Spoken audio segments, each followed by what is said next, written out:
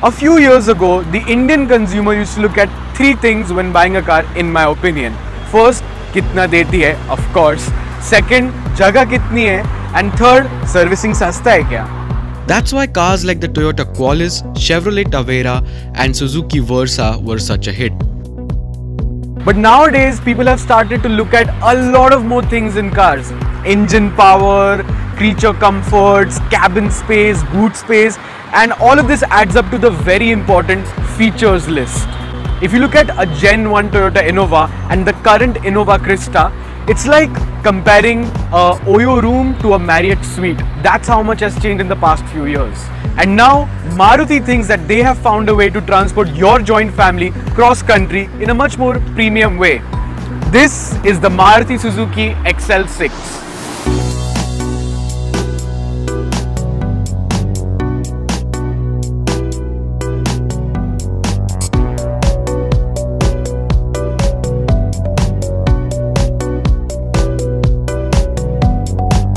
The XL6 is based on the very familiar Ertiga MPV. In fact, apart from the exterior looks, it is identical to an Ertiga. Same engine, same interior, same everything.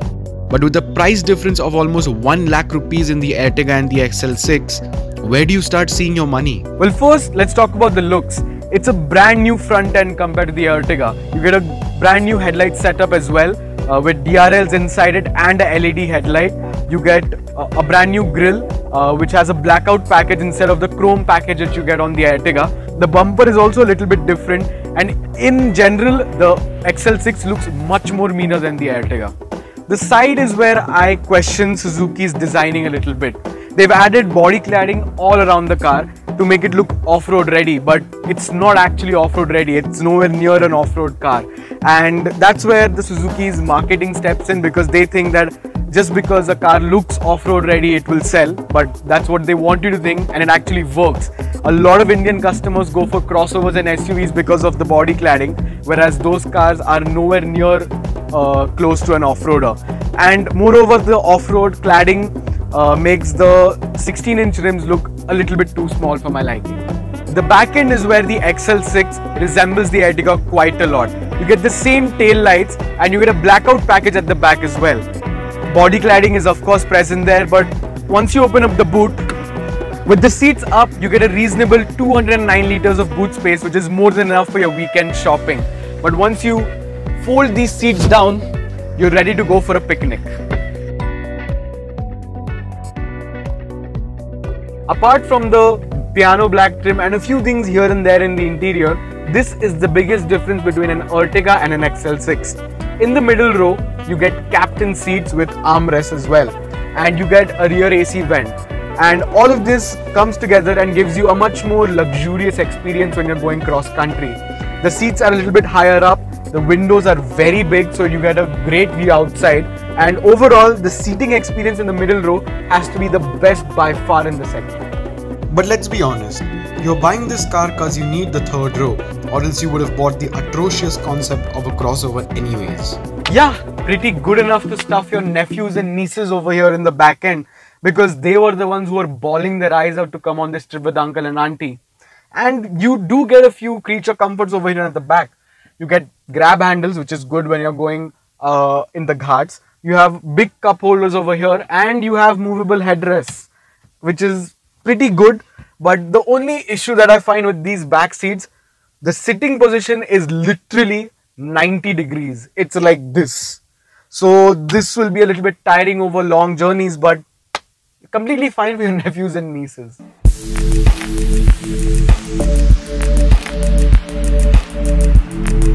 The front cabin of the XL6 is a pretty good place to be in when you're driving. You get a flat bottom steering wheel uh, which gives you the notion that this is a sporty vehicle but come on it's an MPV at the end of the day. It's nothing close to a sports car. The K15B motor found in this car it's a decent motor in the fact that it's pretty refined. It has awesome fuel economy 17.99 kmpl claimed by ARAI which is really impressive for a vehicle this size. But it lacks a little bit of that punch which the 1.5 diesel used to give it makes 105 horsepower and 138 newton meters of torque this motor which is ample but it still struggles a little bit when it comes to overtaking because you have to downshift when you overtake. This is a great car when it comes to long road trips and cross country drives. It's pretty comfortable. You have loads of space. It is a massive car for the money. 11.6 lakh rupees. Uh, this is the second top model in the lineup and 11.6 lakh rupees for such a big car with such a good looking interior. I think it's a great deal to be honest. But the real fact is the Ertiga also is a really really great car and actually the Ertiga is 1 lakh rupees cheaper than the XL6. So the question comes, do you really need to buy an XL6 to get this insane amount of space and cross country going capability? Well, I mean, it completely comes down to your preference because hands down the XL6 has a much better interior. It looks much more premium.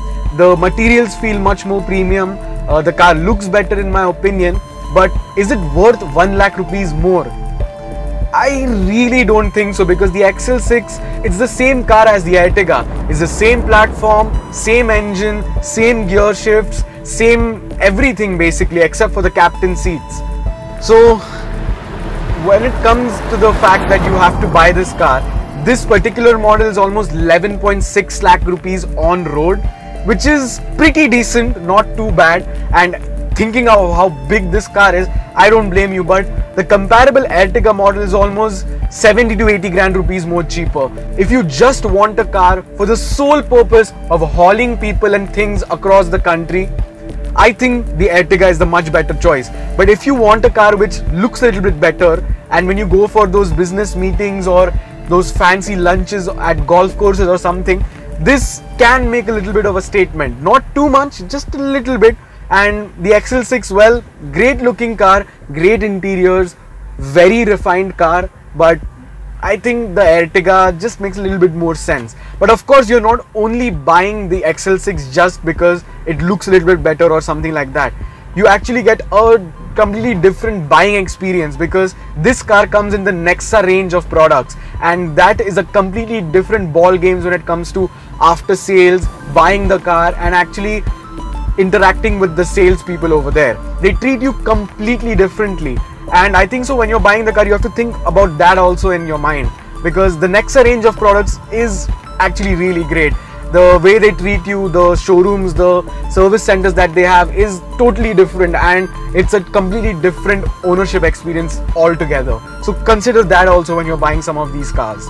So the XL6, great car in my opinion. Go for it if you love the looks, love the interior, and that's it for this video thank you so much for watching this video before you sign off do check out our instagram we have lots of insane things going on, on instagram.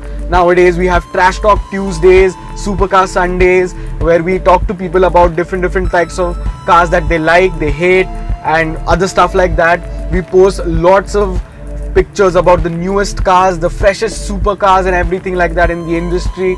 Uh, we have a website as well. On the website, we post the freshest articles ever with in-depth reviews of Formula One, the newest supercars, the newest economy cars and everything of that sort. Do check that out. Check out our Twitter as well. We're on Twitter and we're very active there. We have a our Twitter handle is at the rate the drivers hub of course and we do a lot of shit posting about memes Formula One and the memes about Formula One and loads of other stuff this is Soham Saraf signing out and I'll see you in the next one.